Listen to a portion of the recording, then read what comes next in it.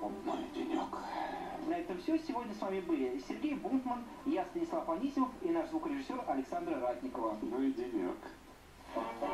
После полуночи со среды на четверг. Программа «Винил» на радиостанции «Эхо Москвы». Пластинки всех времен и народов, никакой цифры и только живьем. Ведущий программы коллекционер Михаил Куницын. Встретимся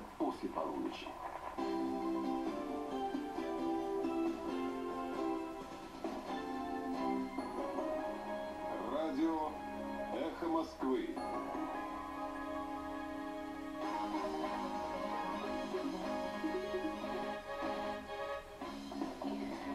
часа в Москве на эти новости в студии Ирина Кучеренко. Только 6% россиян считают, что власти соблюдают Конституцию. Это следует из результатов опроса, проведенного Левада-центром.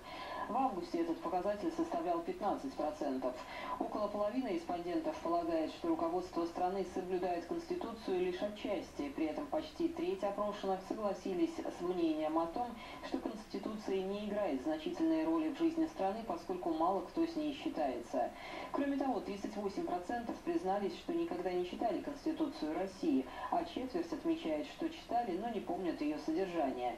Большинство россиян, 69%, затруднилось ответить на вопрос о необходимости внести изменения в Конституцию. За это выступили только 10% респондентов.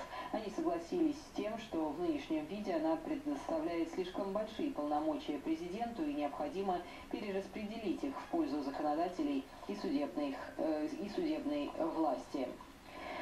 Глава дипломатии Евросоюза Кэтрин Эштон встретилась в Киеве с президентом Украины Виктором Януковичем. Беседа продолжалась три с половиной часа, сообщает Униан. Какие конкретно темы обсуждали политики, не уточняется. После этого представитель Евросоюза отправилась на Майдан Незалежности, где проходит акция сторонников евроинтеграции. Там она пообщалась с протестующими и с оппозиционным полити... политиком